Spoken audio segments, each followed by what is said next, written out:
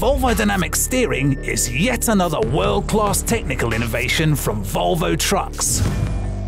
Effortless and precise, it improves safety while reducing the risk of occupational injury.